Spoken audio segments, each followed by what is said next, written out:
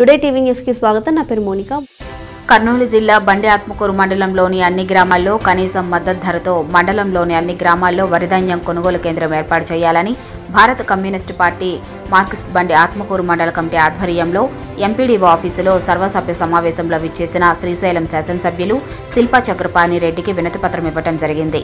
ఈ సందర్భంగా CPM party మండల నాయకులు రత్నమయ్య రామచంద్రుడు డేవిడ్ రైతు నాయకులు జాకిర్ మాట్లాడుతూ తుఫాన్ ప్రభావంతో నష్టపోయిన రైతులను ఆదుకోవాలని నష్టపరిహారం ఎకరాకు ముప్పై వేలు ఇవ్వాలని అన్ని గ్రామాల్లో ధాన్యం కొనుగోలు కేంద్రాలు వెంటనే ప్రారంభించాలని కనీస మద్దతు ధర కల్పించాలని కౌలు రైతులను ఆదుకోవాలని రెండో పంటకు నీరివ్వాలని ఎమ్మెల్యేకు వినతిపత్రం సమర్పించారు.